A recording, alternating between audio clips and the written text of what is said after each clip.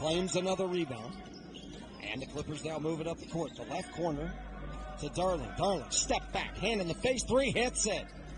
Left to right on your radio dial, throws it straight away for Jackson. Long three, and it rainbows flat off the iron. Rebound down to the Clippers. Here comes a long court pass, tipped by Jackson, and it's recovered by Moon. Moon backs it out, throws over to Darling. Darling being harassed by Jonathan Williams, who's in the game, and Darling drives hard right side. Beautiful dribble. Now comes around Cook again. Drives hard left side through some traffic, floats it off the glass rim. No good. Diabate, no surprise, comes down with another rebound.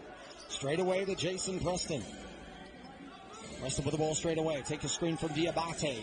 Hits into the mid range. Now throws across the court. A three is up and good from Nick. Up here in the second. Williams drives hard. Left side. Goes with the sweeping hook. It's going to go off the glass and rim. No good. Diabate his eighth rebound. Outlet now. Down the court. Keaton Wallace in the corner. Drives hard baseline. Throws it back out straight away to Preston. Now high out right. Darling hoists up a three. Bangs it. Puts it on the rim and scores it. Awkward looking play, but he got the bucket to go. And great find by the Stars to see the mismatch. On the other end, quick three is up and good. I, am just going to say, I thought that was a soft technical. Free throw is up and good from Darling. 987. Clippers by two. Two minutes left here in this third quarter. Jonathan Williams out to guard Moon, way out from the basket.